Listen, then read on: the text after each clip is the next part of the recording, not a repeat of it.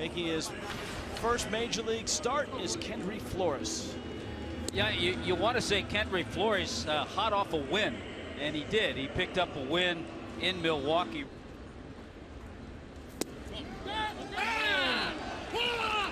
That's strike three. Herrera's not happy, voices his displeasure. 0-2. Good fastball, and Eickhoff strikes out. So two strikeouts Kendry Flores. Ah, good breaking ball. Dropped in.